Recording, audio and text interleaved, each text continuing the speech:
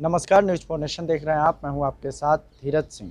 जदयू के राष्ट्रीय कार्य परिषद में पिछले दिनों एक प्रस्ताव पास किया गया था, जिसमें कहा गया था कि CM Nitish Kumar PM material हैं, लेकिन पीएम पद के दावेदार नहीं है। इसके बाद बिहार सरकार में मंत्री जमा खान पिछले दिनों अजमेर शरीफ पहुँचे थे, जहाँ पर उन्होंने दुआ मांगी थी कि सीएम नीतीश कुमार अब पीएम मटेरियल हैं और पीएम पद की जो दावेदारी है उनको निभानी चाहिए। इसके बाद लोगों की ओर से जब सवाल पूछा गया, तब जमा खान कहते हैं कि पीएम सीएम नीतीश कुमार में काबिलियत है पीएम बनने की। जब इसको लेकर आज जदयू संसदीय बोर्ड के राष्ट्रीय अध्यक्ष उपेंद्र कुशवाहा से जब इसको लेकर सवाल पूछा गया तो उन्होंने बताया कि नीतीश कुमार में वो सारी काबिलियत है पीएम बनने के लिए, लेकिन 2024 तक के लिए पीएम पद के लिए कोई भी वैकेंसी नहीं है। बता दें कि सबसे पहले पीएम मटेरियल की जो राग है, वो उपेंद्र कुशवाहा की ओर से ही छेड़ा गया था। उसके बाद आज का बयान कहीं ना कहीं एक तरीके से पलटने वाला बताया जा रहा है। क्या कुछ कह रहे हैं? जदयू के संसदीय बोर्ड के राष्ट्रीय अध्यक्ष उपेंद्र कुशवाहा, छोड़ जाते हैं आपको उनके वीडियो के साथ। देखिए, उस बयान के बाद पार्टी की राष्ट्रीय परिषद की बैठक में पार्टी को जो कहना था, पार्टी ने कह दिया है।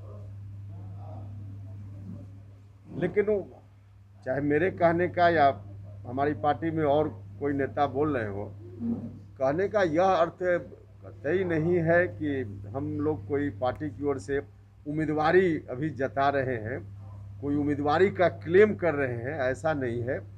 आ, उसको उस अर्थ में नहीं लेना चाहिए। सर यूपी चुनाव में लेकिन एक सेकंड एक सेकंड नेशनल काउंसिल जो सबसे बड़ी संस्था है किसी पार्टी की राष्ट्रीय परिषद उस राष्ट्रीय परिषद की बैठक में जो प्रस्ताव पारित हुआ उस प्रस्ताव को के बाद जो जो भी स्टेटमेंट आया उसके बाद ऐसा लगा कि जेडीयू चाहती है कि नीतीश कुमार प्रधानमंत्री पद के उम्मीदवार बने और उनके इर्द गिर्द तमाम चीज़ें आगे बढ़े क्योंकि नेशनल काउंसिल में प्रस्ताव पारित हुआ, उसके बाद तमाम चर्चा देखो, प्रस्ताव पारित होने जैसा नहीं था। हाँ काउंसिल में, यह बात ज़रूर कही गई थी एक स्वर से। लेकिन फिर हम दोहराएँगे कि उसका यह अर्थ नहीं था कि आज की तारीख में कोई कैंडिडेचर प्रधानमंत्री के लिए हम लोग डिक्लेयर कर रहे हो, उसका दावा कर रहे हो, ऐसा नहीं था। यानी 2024 में नरेंद्र मोदी को ही जेडीयू मानती है कि प्रधानमंत्री पद के दावेदार होंगे उम्मीदवार होंगे। आज की तारीख में तो अलायंस हमारा है और उस अलायंस के प्रधानमंत्री नरेंद्र मोदी जी हैं। बिल्कुल क्लियर है इसमें कहाँ कोई इफ़ बट है।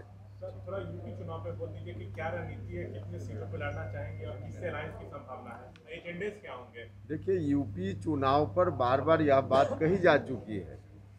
उत्तर प्रदेश का चुनाव निश्चित रूप से हम लोग लड़ेंगे। कितनी सीटों पर लड़ेंगे अभी यह तय नहीं है। सिलेक्टेड सीटों पर लड़ेंगे। हम बाद में बताएँगे जब हम तय करेंगे अंतिम रूप से कि कितनी संख्या होगी हम फाइनल करेंगे बताएँगे।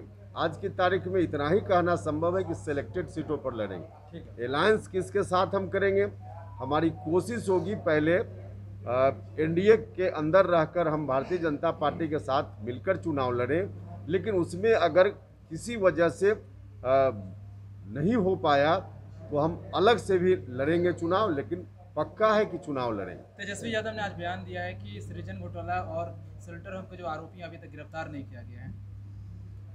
तेजस्वी यादव के इन बयानों का कोई मतलब नहीं तेजस्वी यादव पहले अपना कोर्ट कचहरी देखें उसके बाद इस तरह की चीज़ों पर टिप्पणी करें।